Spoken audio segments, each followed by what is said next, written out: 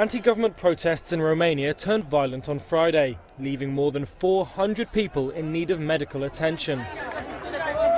Tens of thousands of demonstrators were rallying against the ruling Social Democrat, or PSD, government in the capital Bucharest and other cities across the country. The protests were organised by groups of Romanians working abroad. They're angry at what they say is entrenched corruption, low wages, and attempts by the PSD to weaken the judiciary in one of the European Union's most corrupt states. As the protests heated up, some threw bottles and paving slabs at riot police. In return, the law enforcers scuffled with some, fired tear gas, and used water cannon. In Bucharest, a number of protesters attempted to force their way through security lines guarding the government building. The police defended their actions, saying groups of provocateurs were those at fault.